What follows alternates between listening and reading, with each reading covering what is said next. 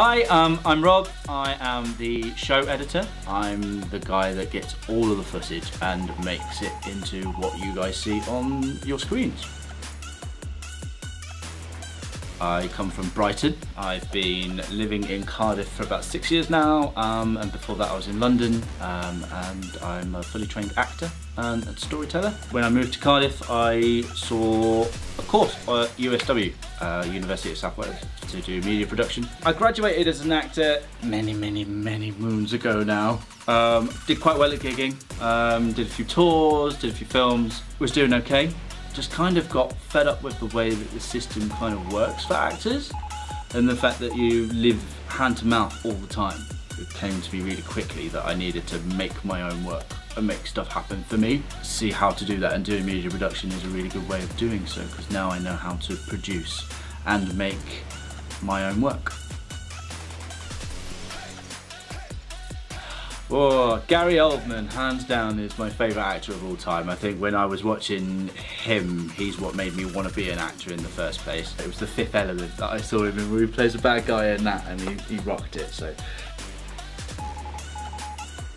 I like to cook, I'm a big foodie, and I'm not fussy.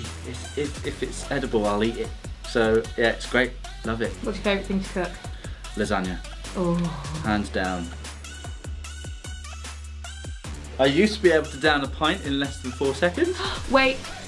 Have you've compared, have you, not, have you not seen my get to know video? No. I down a pint in three seconds. Have you? Oh Yeah. no! And Niamh said to do it in three. So this is me trying to remember if I can do it or not. Cheers. Here we go.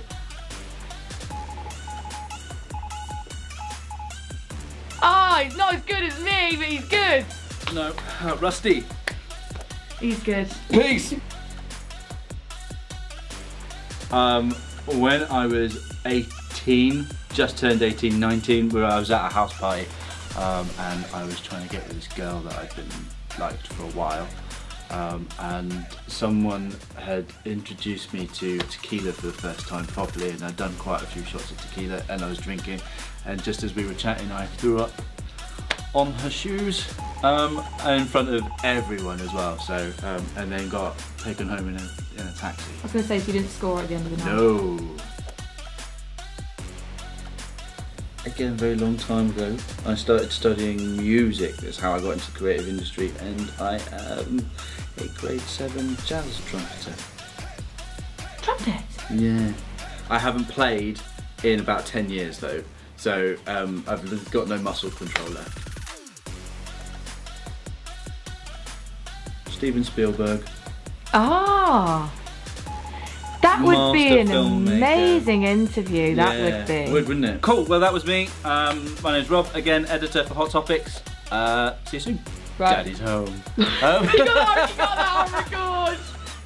Bleep is right there. joking.